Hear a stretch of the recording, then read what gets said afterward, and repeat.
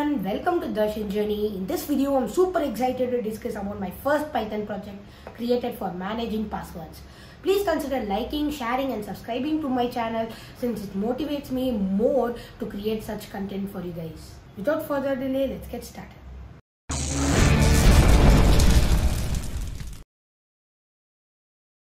How do we usually manage passwords? We typically use a diary, but we have found that managing and updating it can be quite challenging and time consuming.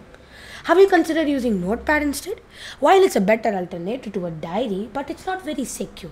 If someone gains access to your computer, they could potentially find all of your passwords.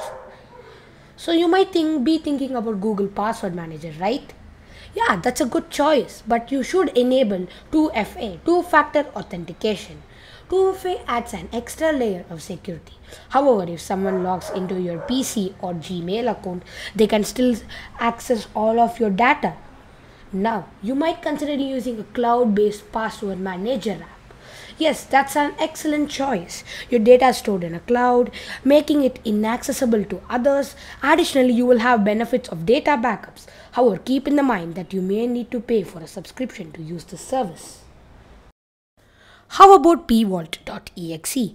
pvault is a GUI based app developed using PyCharm. It also has an inbuilt function that can generate complex passwords based on the input of characters.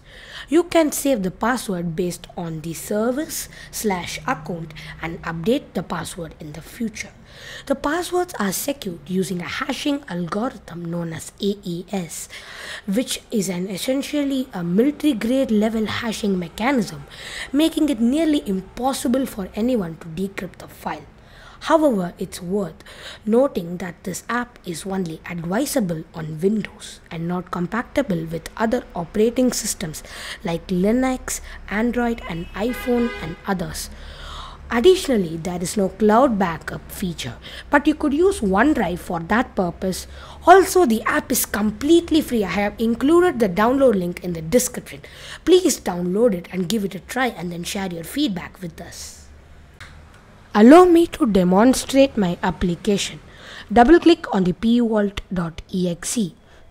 It will pop up a window asking you to create your master password. If you don't know what is a master password, it's basically a key in order to access the rest of your passwords that you saved in the application. In my case, I'm performing a demo, so I'll be using a weak master password 1234. In case of real use, please create a stronger master password.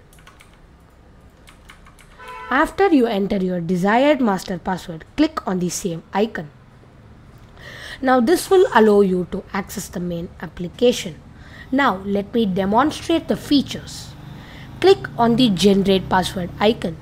This feature basically allows you to generate a password based on how many characters you input. So in my case, I'll be using 12 characters. If you want a strong password, please use 18 characters or 20 characters. Now that I have covered the generate password function, let me show you how to store a password in this PV Vault application. Click on the store new and type your platform as Gmail in my it's just an example okay and type the account as darshandj at rate of gmail.com. I'm typing this in my case. In case of real use, you could type whatever you want and the real password. So after you type the account, please type the password in. So I will be using the password that I have generated using the generate password function. Like this, we could create multiple entries. So let me explain the features that have appeared in the site. Copy ACC stands to copy the account like darshandj at the rate of gmail.com. And copy pass copies the password and update icon helps you to update the password. Like example, let me just type a random password and as you can see it updated it. Now the delete icon deletes the whole thing. As you can see platform account and password are now empty. Now that we have covered the generate password function and the store new function let me show you where the database is saved and how it works so here is the database for my application so basically when you download the exe, wherever it's downloaded, there only the database will be stored. In my case, I have downloaded in my OSC, users, RPath, PyCharm projects, password generator and output. So as you can see here's a DB and this is fully encrypted so that no one can see it. Let me just open click open with uh, open using notepad and as you can see it's fully encrypted. This does not look like the password that I saved. That's right guys. This app is completely free and I have included the download link in the description. Please download it, give it a try and then share your feedback with us. Thank you and have a wonderful day.